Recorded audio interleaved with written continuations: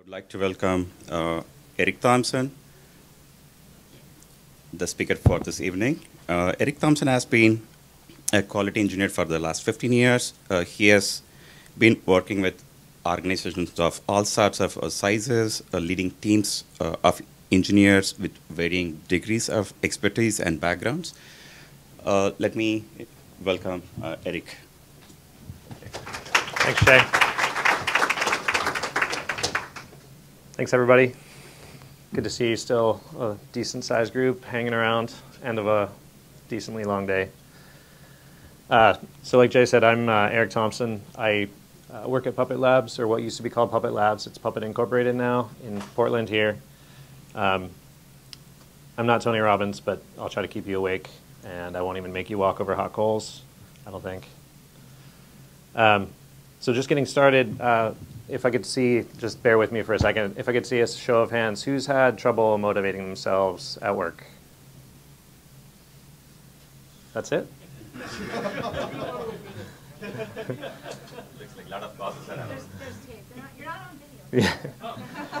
And who's had trouble motivating other people at work? Yeah, so we all kind of understand the problem. Is this going to work?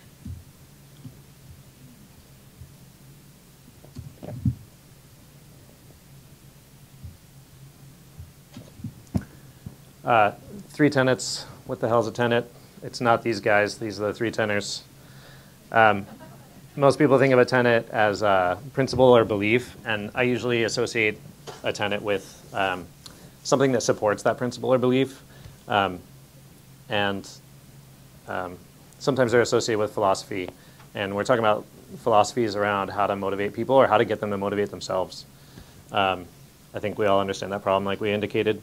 The I kind of think of them as like three-legged stools. If you are missing any one or one facet of one of the legs, the stool doesn't work so hot. Um, so these tenets, three tenets, can be used to support or prop up the motivation of your team, the motivation of yourself to motivate your team um, every day. Um,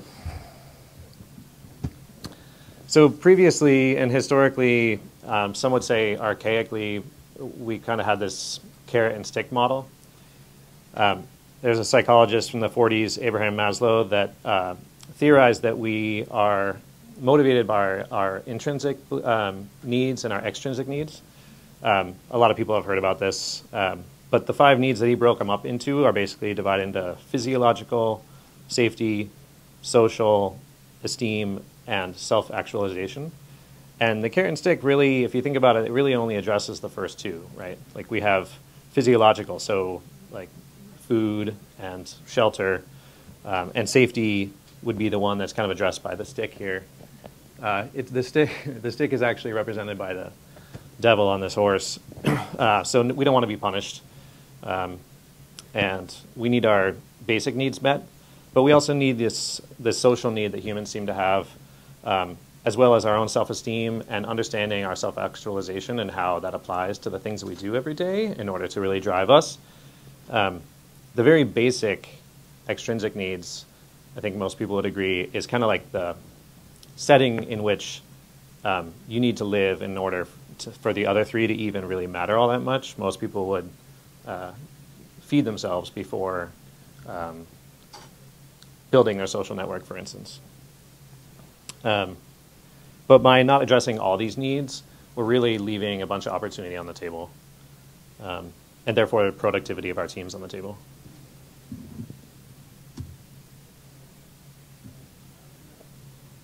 Why doesn't this work?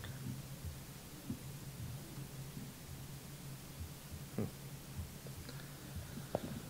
So, a lot of people think that everybody's unhappy at work. Um, I think these days we're starting to understand that you don't have to be unhappy at work. And um, this is basically where I tell a little story about my history. I, the first engineering job that I had, I worked at a Fortune 500 company with a three-letter name. and I was pretty unhappy. I was an intern for a summer, and uh, wasn't exactly their fault.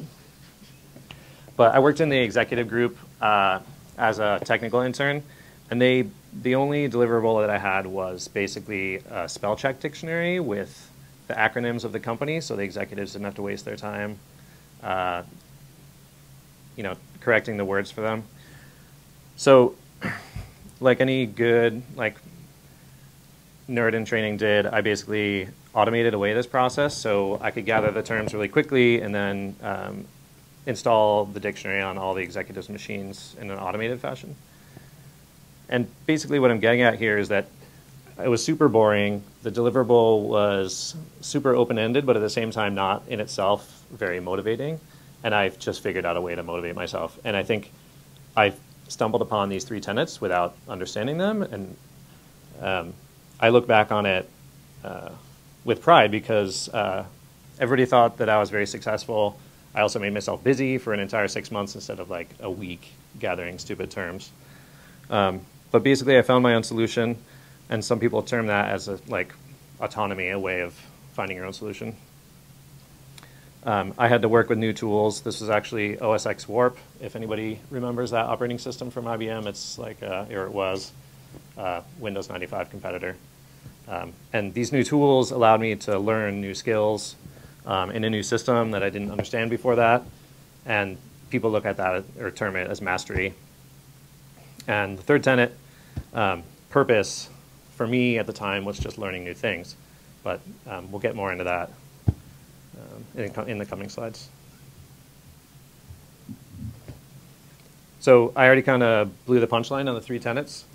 Uh, Dan Pink wrote this book called Drive. Anybody read Dan Pink's book? Yeah, okay. So some of you know it. Um, and I talk a little bit about, or a lot about those three tenets in the slides. There's also other people that have kind of come across the three tenets uh, without directly addressing them in their studies and their work. Tony Hsieh from Zappos is one of them. Um, but the first tenet that uh, Dan Pink talks about is autonomy, and I talked about that as um, basically a way of like, coming upon your own solution. Um, but this is someone's basic determination over aspects of their work and life, uh, such that they can control their own destiny, um, and this kind of requires an environment in which you can make mistakes, right? You need to, in order to be feel free to come up with your own solutions, it's good if you can uh, know that you can try things in a safe environment, make mistakes, learn from them, um, and move on. So those types of challenges and um, failures should really be encouraged by anybody that can.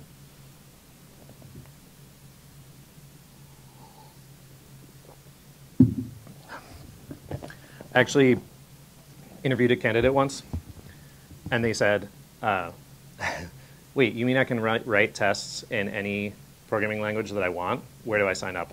That was like all they needed to be sold by that company. Um, special circumstances, um, any programming language is one of those things that a lot of us is a holy grail. Um, but it was good enough for them, just the autonomy portion. The second one, uh, Dan Pink terms mastery. And this is uh, kind of a basic gaming tenet. We've seen a lot of gamifications in websites and all sorts of other things. We've been talking in this room, this track today, a lot about metrics. And we've seen how metrics can be used badly, but in some cases, it's just a way of people tracking their progress um, and giving them a sense of positive momentum, positive movement. Um, people talk about um, improvement and constant improvement. This is one way of looking at it. Um, this, in a lot of cases, requires an environment where you have fast feedback loops so you can understand what your learning is, what your, how you are leveling up, how you are mastering something. Um, and that feedback might come in all sorts of different ways while you're on the job. So any type of problem solving or puzzle can be important for people to understand their forward progress. Um, one way of people looking at these challenges is Goldilocks, you know, just not too much, just not too little. So if you have a challenge that's gets too easy, maybe somebody's gotten too good at it, people tend to get bored. Um, but if it's too hard, conversely, then people hesitate. They don't want to tackle it because they think they're going to fail. So not only fostering that environment where they can fail, um, but providing tasks and challenges that are just right, Goldilocks level, uh, to make people want to like tackle them one at a time and see their progress. Um, one way we do this at work, or one, one thing that works for me, is just learning new software. So it's fun for some people to learn new tools. Um, somebody at work recently was talking about uh, tricking the elevator to close the door to, to close the door faster, but it turns out that the closed door button doesn't really do anything on most elevators anyway. So. I also had uh, somebody recently. I was doing something and struggling. You know, when people are watching you try to drive a computer and you make all sorts of silly mistakes. And they said, "Why don't you use this other editor? It's so much better than Emacs." So, yeah, some of you get that joke. It's that kind of show offness, like, like, look, I'm good at this. It's another way of them exposing their mastery.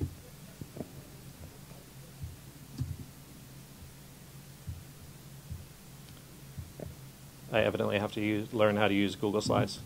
Um, the third tenet that Dan Pink talks about is purpose. Um, and this one can be really difficult. It's both difficult to define for most people, um, but also difficult to uh, produce and work from day to day. Not, not all of us have a job that's, we're not all saving lives all the time. Um, and this can be different for everybody, but it's basically a benefit that's larger than yourself. Um, and this connects the work that we do to people and our own values, but hopefully the values of the company as well. Um, so it's things like, you know, how, how does the software that maybe you're testing or that you're like leading a team to develop, how, do, how does that software help others? Um, and if that doesn't really work very well, maybe it's, I don't know, software to like sell things that nobody wants or something, and you're stuck there. Um, how does your work help your coworkers? That, that's a big thing for people, is teamwork um, and helping other people. Um, maybe it's uh, gaming the elevator at work so you can get home to, to, to, to your kids easier. Uh, and some people say I look like Kevin Spacey.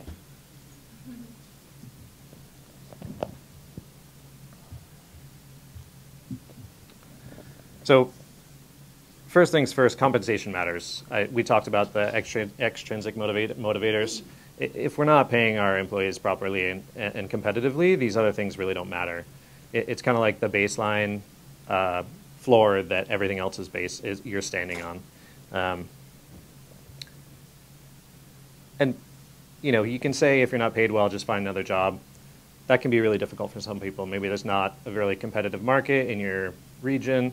Um, maybe you're strapped for bills and your family's counting on you. You can't just like go and spend time to look for another job. Maybe you can find the three tenets and the things that you do every day. You know, you're stuck in a dead end job. Maybe you can make it exciting for a little while. Um, but like I said, I think for most people, if you're not paid well, if you're not making ends meet, it's really difficult to find purpose uh, in your day to day nonsense.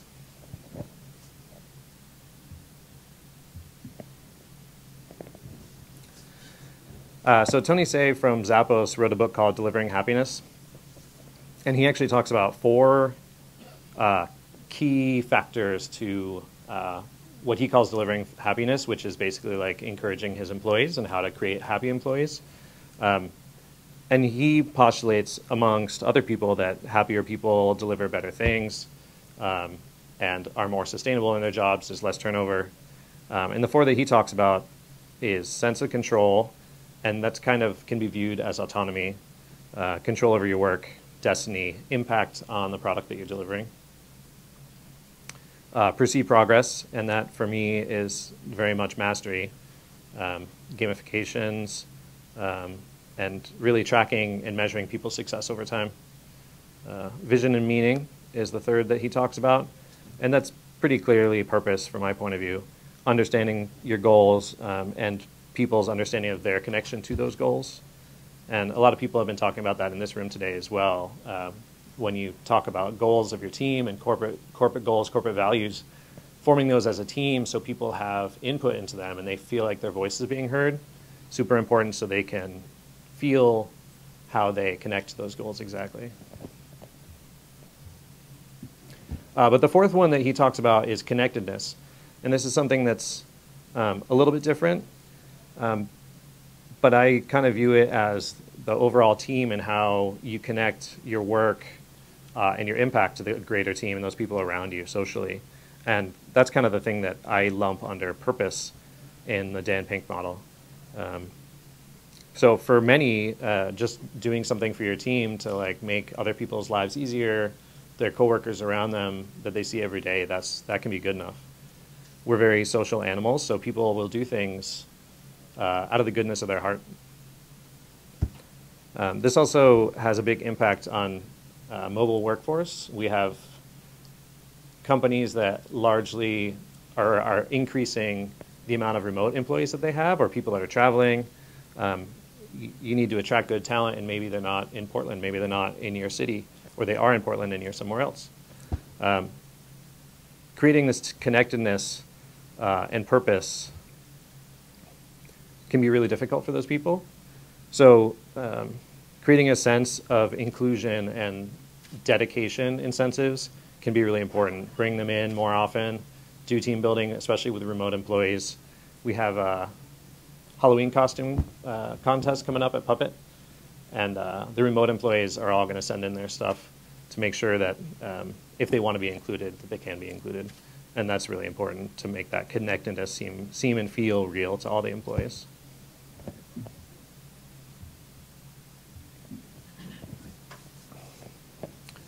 So I, I get this a lot. Who, who cares if your people are happy? It's the workplace. It's not daycare. It's not, you know, do you want to work or play? I, have heard that a few times. One time I was negotiating for vacation when I went to get a job. This is a while back.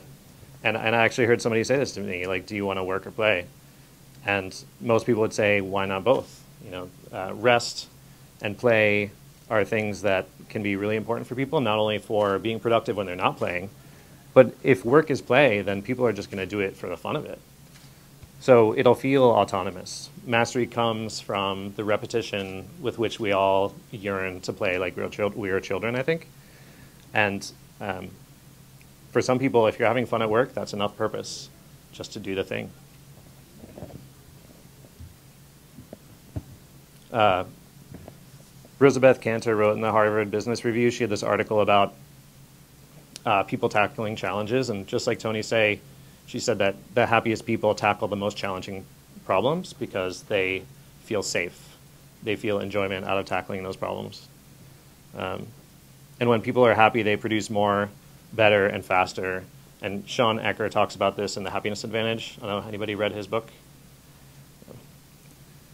Um, and I think we can all agree when people go home satisfied at the end of the day, they can take a load off, they can relax, they can hang with their families, they can come back the next day to produce more things better and faster.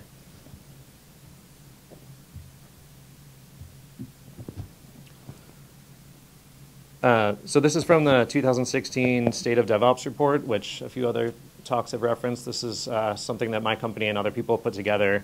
It's uh, 4,600 technical professionals that we survey. And this is what happens when teams are happy you get 22% less time spent on unplanned work, 2.2 times more likely to recommend the organization to a friend, so you get like more better employees coming in all the time. Uh, way less change failure rate, and when you do have failure rates from changes, the recovery time can be 24 times faster. These are hard numbers from the past year, from 2016, uh, from technical professionals across the industry.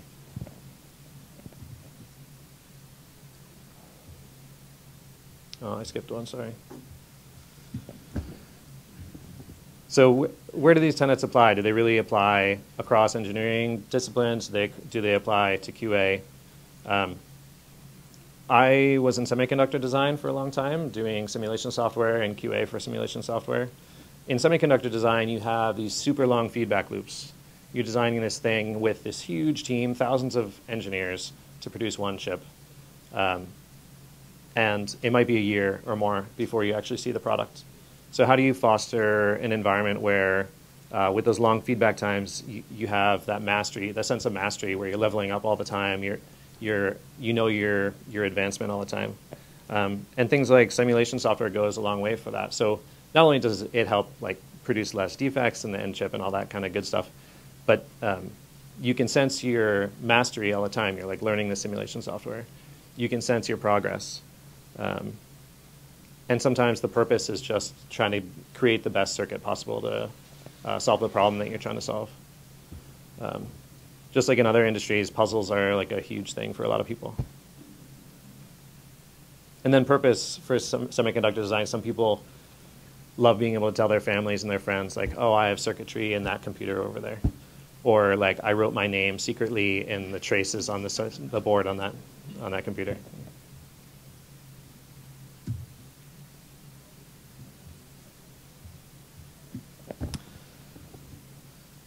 Um, does it apply in interior design? There, there's kind of ways that you can apply this to anything, right?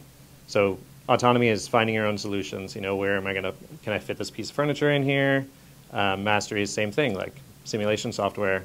And purpose could be better living, right? I'm going to, I'm going to make my living room look great. I'm going to have people over. They're going to think that I'm awesome because my living room looks so cool. Um, there's a kind of a story around this.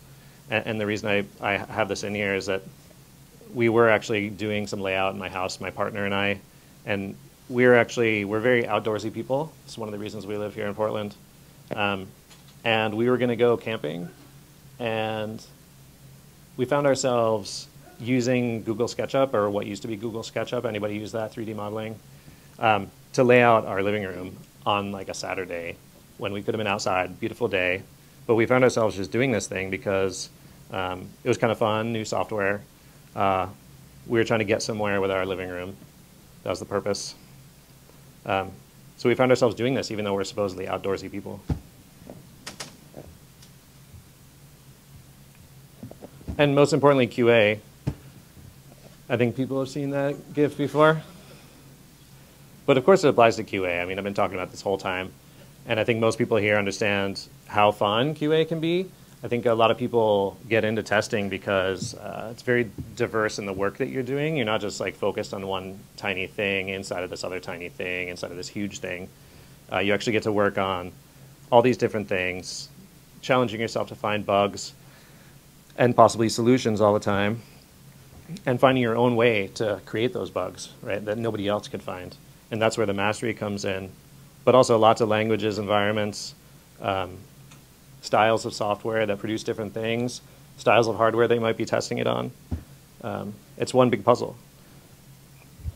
So purpose in QA uh, can be difficult for some people, but most people just focus on the users, right? We're, we're trying to deliver quality stuff to users, pretty clear.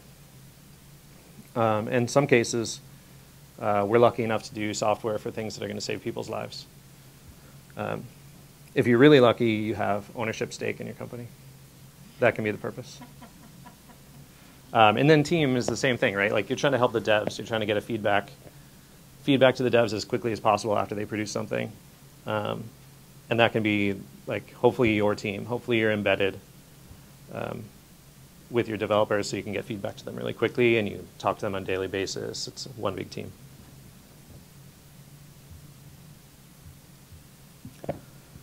So what about retention? People often say like we're if we create this amazing environment for people, if we if we make them better, aren't they just going to leave?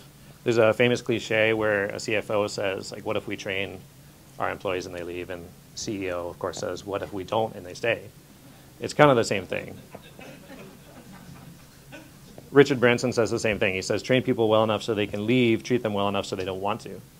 It's kind of like um, be so good they can't ignore you. I forget who said that. Um, but as individual contributors, we can feel like layoffs are imminent, even especially at big companies, even after you've been around for you know maybe a decade or more. So, um, how do you continue doing your job when you feel like the end is is nigh? Um, I think these three tenets go a long way. Um, you might love your work and hate the company, and that might be good enough for your purpose. Might be good enough to feel like you can level up inside the company or just in your group.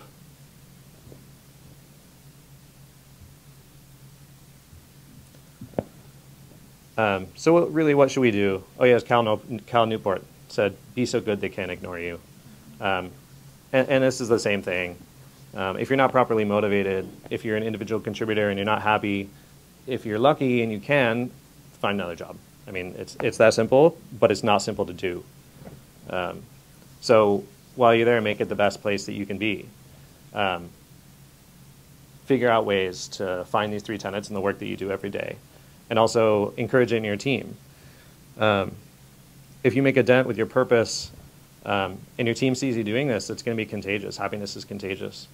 Um, the other good way that people talk about uh, there's a Gallup poll recently that talks about having best friends at work um, and how important that can be.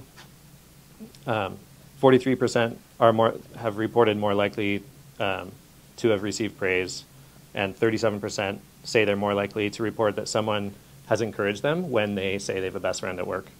Um, and that happiness can be the purpose, like I was talking about.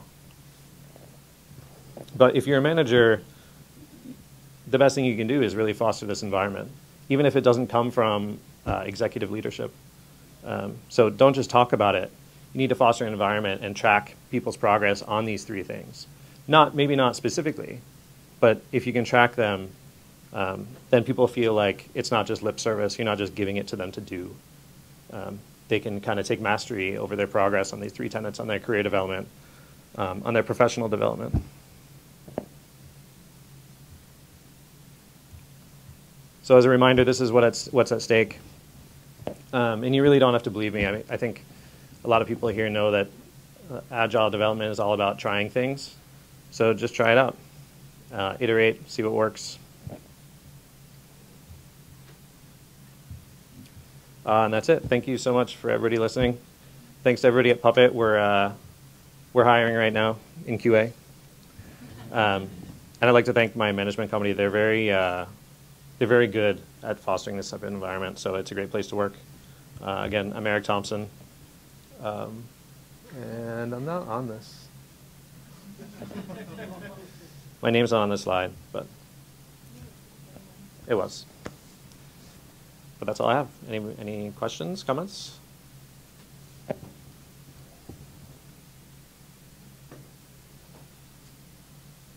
All right. Well, if you have any questions or comments, please uh, tweet me. I'll put my first slide up. Um,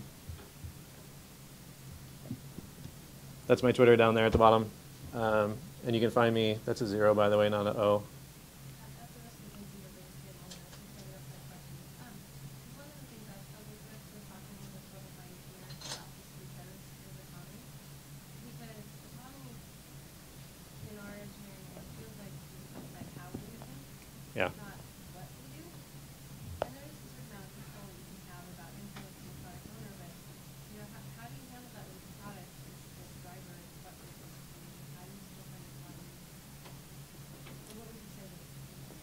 So it sounds like the question is um, a lot of times we get past what we're going to do by the product owners. We don't have a lot of say in that with regards to autonomy. Um, so the autonomy comes solely at how we're going to do it. Um, uh, that's very true. I, I think from day to day, what I've seen is that sometimes that's okay, that's good enough. But I think that there's ways of making it better. Um, people talk about um, forming team goals as a team so that everybody knows their voices are being heard. Um, and that way, people all agree on the goals and they understand their connection to those goals and uh, can find their own way to those goals. Even if the direction from product, for instance, is a little bit different than what they would do. Um, I think everybody understands that product is in the best position hopefully people understand that product is in the best position to understand how to get to those goals. And we have our small part in, in getting us there. And hopefully that's good enough. Does that answer your question? Or one way to answer your question? Yeah. That's a, good, that's a challenge and a, and a really good question. Yeah.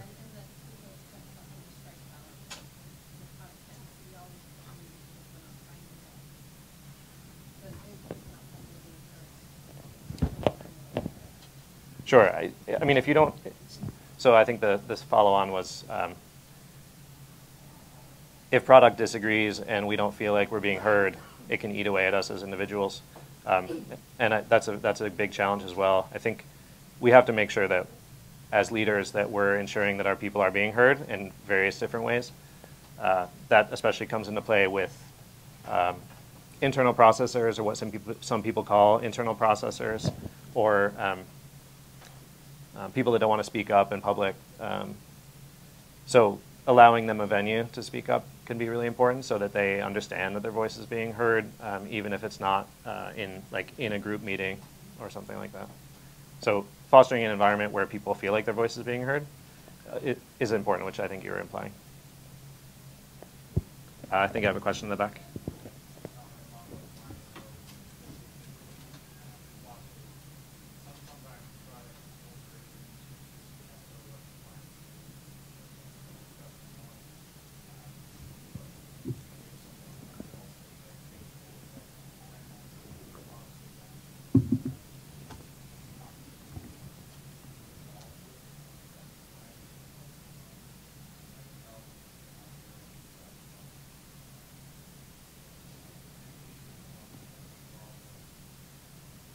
So forming a cohesive team between possibly the uh, engineers and product, if, if there's a separation there, so that they know that their voices are being heard.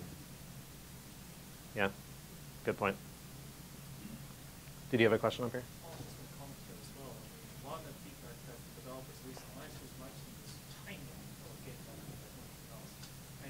sounds like is that your team is essentially hand the product that you build is to make. Uh, one thing that I found that worked out really well was whenever we come with a new product for my company, uh, business stakeholders will come home with a feature idea, a really high level idea. They approach the development team, development team says, yay, nay, we do it, A, B, and C, A, C, B, why it work, why it won't work.